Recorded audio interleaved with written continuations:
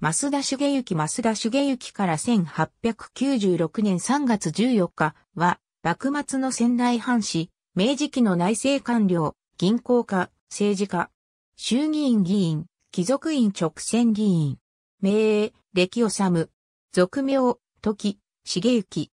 武蔵国江戸で、仙台藩失政、増田茂之の三男として生まれる。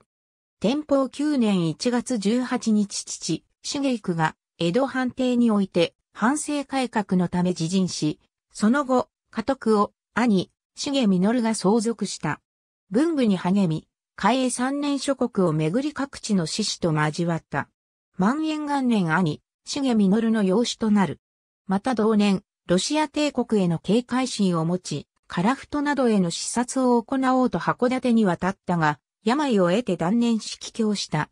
養父の長患いにより野席を務め、部頭、脇番頭、軍事出兵にのて副長を務めた。慶応4年三世事務、三中七家宿口参謀となる。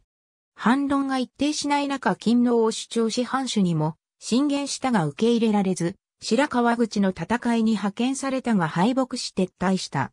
宇和島藩からの死者の説得により、仙台藩は新政府に謝罪降伏を消し、増田が死者として日本松官軍本営に謝罪書を提出した。その後、新藩主伊達州元の法欲、失政、議事局総裁、県第三次、第三次を歴任した。廃藩置県後、一関県三次、水沢県権令、岩井県権令などを歴任した。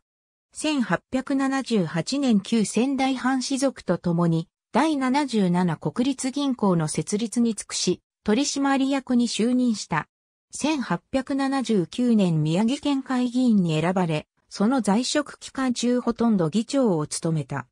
国会開設請願運動に加わり、宮城改新党総理、宮城政会副会長を務めた。